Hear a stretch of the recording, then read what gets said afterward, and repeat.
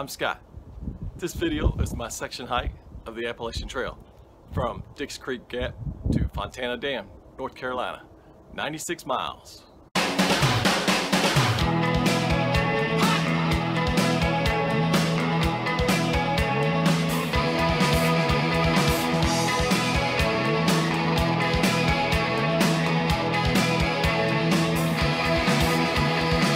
This video is part of a series that I'm doing to document my section hiking of the Appalachian Trail, the AT. In this video, I'll cover my 96 mile hike from Dicks Creek Gap to Fontana Dam, North Carolina. This is considered the second section of the AT. This section hike took place in May 2015. This was my very first section hike on the AT. Prior to this hike, I had never, ever, ever been on a backcountry overnight hiking trip. So this was a very unique situation for me. My neighbor Larry was saddled with the task of getting me up and down the hills in southern North Carolina. This rookie who had never slept in a tent before, this rookie who'd never cooked a meal in the backcountry, this rookie who had never crapped in the woods in the backcountry. Friday afternoon, we left Shepherdsville, Kentucky and drove down to Fontana, North Carolina. It was about a six hour drive. We parked our car in the visitor center of the dam, which is a secured parking lot. We grabbed our stuff and we headed over to the famous Fontana Hilton shelter. And there we slept for the night.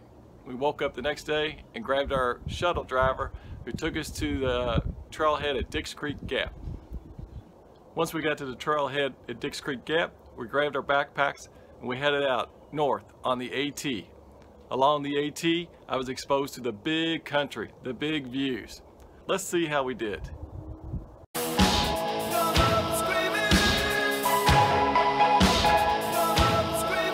In May 2015, when we did this section hike, I was in pretty good shape. I weighed 185 pounds. I just ran a marathon in April, and I'd been doing day hikes uh, over the last several months, roughly 16 miles per day with a 25 pound pack. I just finished doing an Ironman in August 2014, and I was in the middle of training for another Ironman that would participate later on in 2015.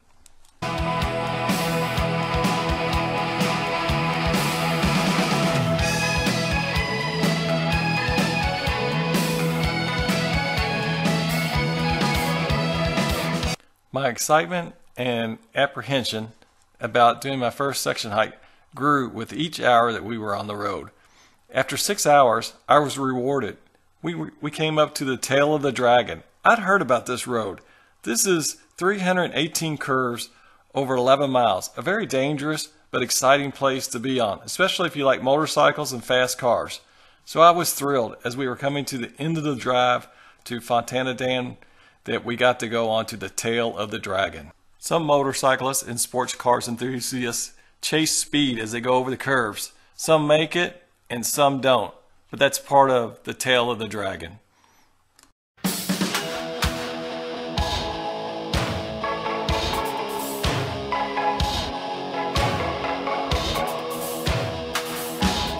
After six hours on the road, Larry and I made it to the Fontana Dam. Got out of the car, got our pictures taken uh, at the dam, at the scenery, and then at the spillway on the dam. This is when Larry first figured out that I was afraid of heights. It was kind of spooky for me to look over the edge and take some pictures. We then went over to the visitor center, checked out where we'd leave our car, and got ready for the night.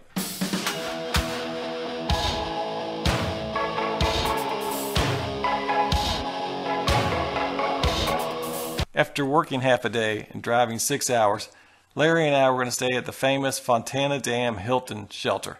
It's a double-decker, two-sided shelter, holds about 20 hikers. It's right on the lake. It's got places where you can tent and hammock. It's got a bathhouse. It's got running water. It's really nice shelter. Larry and I woke up at 6 a.m. and we were ready to meet our shuttle driver at 7 a.m. at the Visitor Center parking lot. Our driver was Jeff Hoke from the Hike Inn. Jeff has since passed away from cancer. Jeff was an excellent shuttle driver. He was very friendly and very knowledgeable. Jeff took us into uh, Hiawassee, Tennessee, where we picked up a sub sandwich, and we later on ate that sub sandwich for our, our lunch. John dropped us off at the Dicks Creek Gap Trailhead parking lot. we got our stuff, and we headed off to the woods.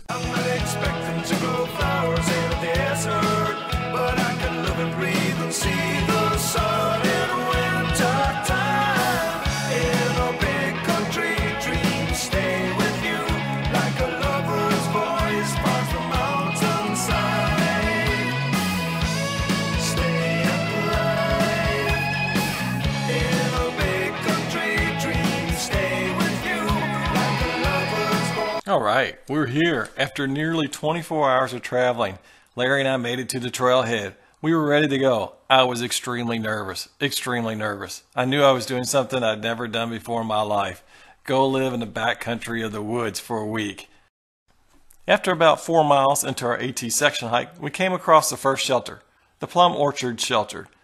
It was a neat shelter. I'd never seen a shelter other than the Fontana Dam Hilton shelter I slept in the night before. So I was really interested in how the shelters were set up and how the privies were set up. After about eight miles into our hike that day, we hit the first major milestone, the North Carolina-Georgia border. There's a tree just in the middle of the trail with a little bitty sign on it. So we sat there and got our pictures taken.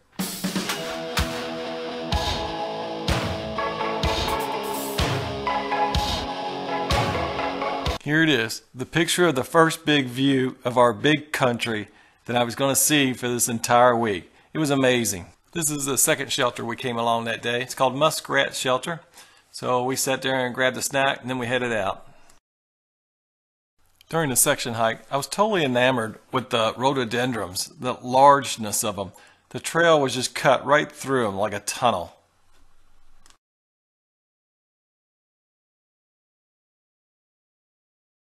At 6 p.m., after 9 hours of hiking and 16 miles, we finally reached our destination for the day, Standing Indian Shelter.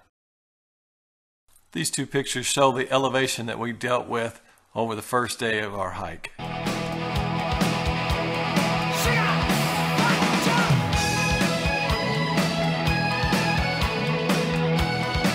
The morning started as we finished the climb up Standing Indian Mountain and then we have a nice five mile long descent into Coleman Gap, which was bear country. Lunchtime, big views of our big country.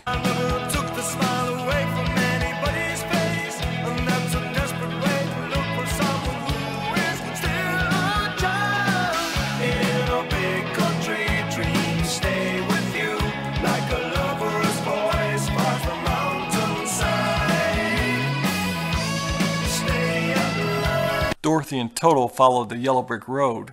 Larry and Scott followed the little white blazes that were along the trees on the AT.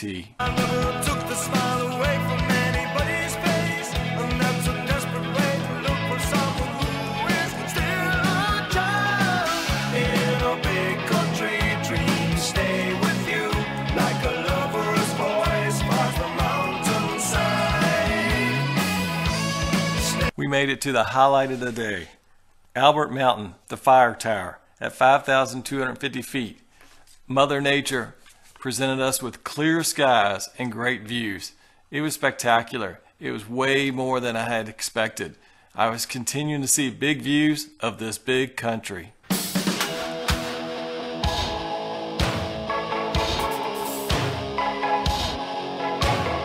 On our way down from Albert Mountain, we stopped at Long Branch Shelter, got some water, it was a new shelter. It's pretty cool. Along the way, we saw a guy hiking there with his two dogs. That was pretty neat. That's the first time I've seen a hiker with dogs out on the trail. After 20 miles, over 11 hours of hiking, we reached our destination, Rock Gap Shelter. There was a family there doing a, a weekend hike from Tuscaloosa, Alabama. They were fun to hang with. I slept in my tent that night on a little bit of a slope. I kept rolling onto the side of my tent. These two pictures so show the elevation we dealt with over the 20 miles on day two.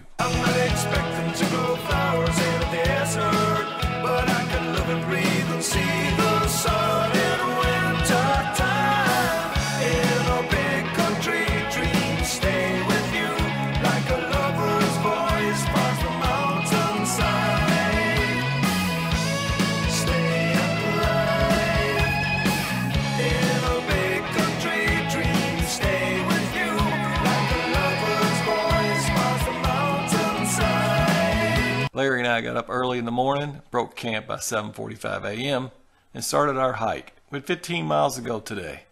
Our first highlight of the day was Winding Stair Gap. This is where a lot of people, a lot of hikers get off the trail and they go on into Franklin, do a resupply, perhaps even stay at a hotel and then come back out and get on the trail.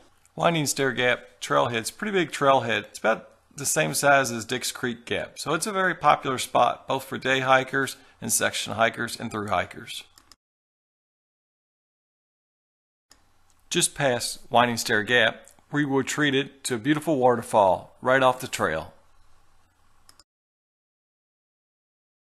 By lunch, we'd made it to the Wayah Crest picnic area, and we were treated by a family there with their young kids. They gave us watermelon, berries, and strawberries. It was awesome to have fresh fruit out on the trail. By late afternoon, we reached a highlight of the day, the Wayah Bald Stone Tower. This tower is really cool. The roof burnt off of it in the 2016 forest fires that they had in the south, but while we were there, it was still as you would imagine it to be. Now we had some big views, 360 degree views off of this tower. It was really neat.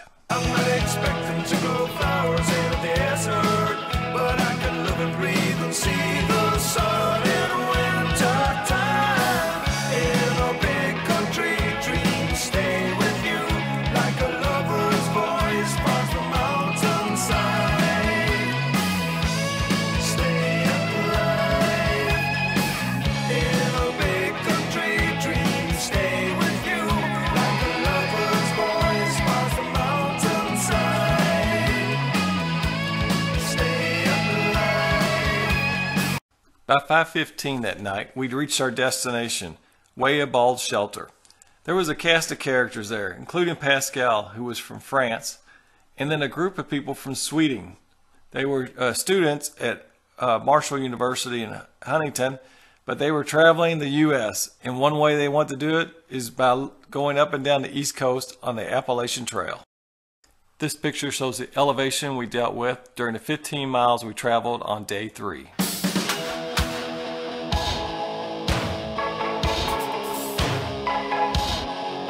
Lunch views at Rocky Bald.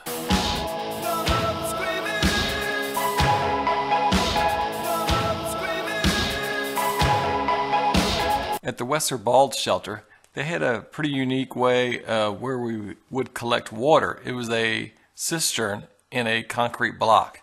I haven't seen too many of those out on the AT, so that was pretty neat. More amazing views of our big country as we descended into the NOC, the Nantahala Outdoor Center.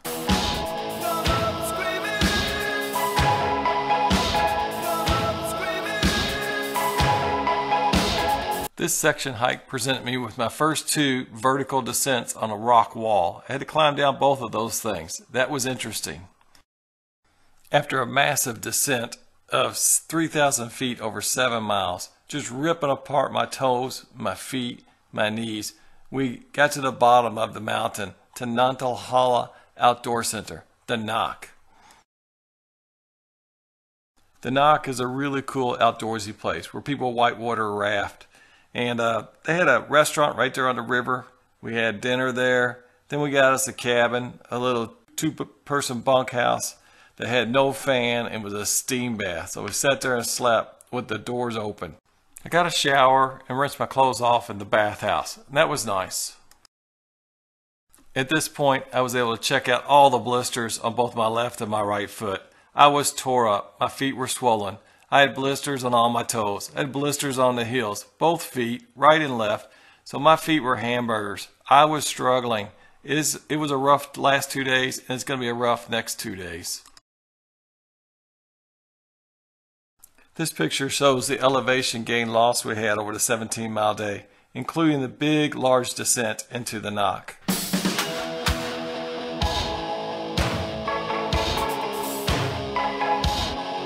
Well, what goes down must go up.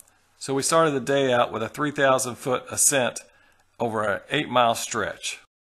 As we continued along our 3,000 foot climb, we came along the memorial to the fallen firefighters. Next up, we came to a part of the Appalachian Trail that had washed away. Larry and I had to jump over the crevice. Then we came upon where we needed to get water. It was from trickles along the crevices of rocks.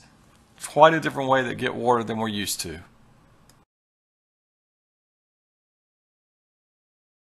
At this point, the AT had turned from dirt and roots to rocks, and only rocks. Just all rocks. That was hard on my feet and my ankles, my toes.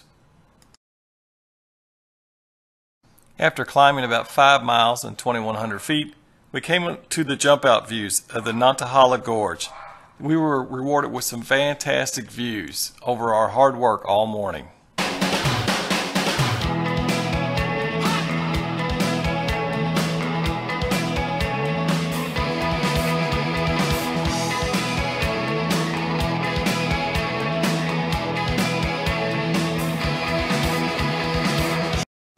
Made it to the Sassafras Gap shelter before we did our last mile climb of the, of the day for reaching a peak at 5,000 feet to Cheoah Bald.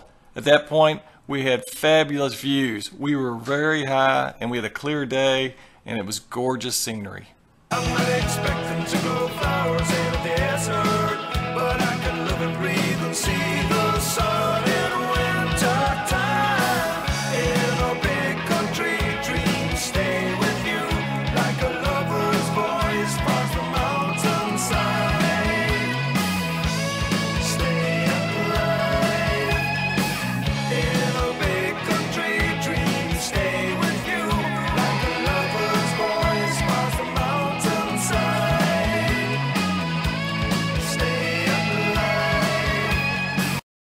We descended off of Cheoah Bald down into Stecoah Gap. At that point, we did a nice little climb to our shelter, Brown Fork Gap, where we stayed the night. These two pictures show our elevation gain and loss as we hiked for 16 miles that day out of the NOC and onto Brown Fork Gap shelter.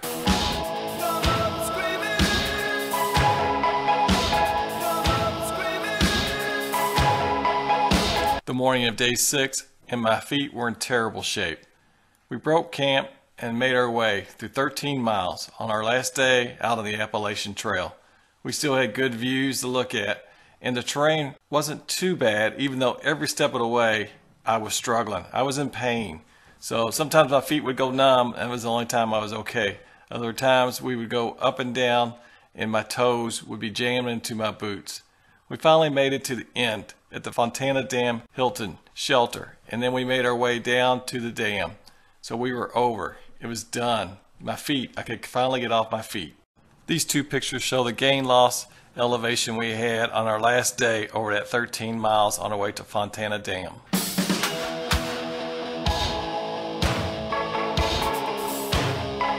Here we are at Fontana Dam with our post-hike pictures. Notice how I got Crocs on. My feet are so tore up and swollen, I couldn't put my tennis shoes on. And now we're headed home from one of the most spectacular adventure weeks I've ever had.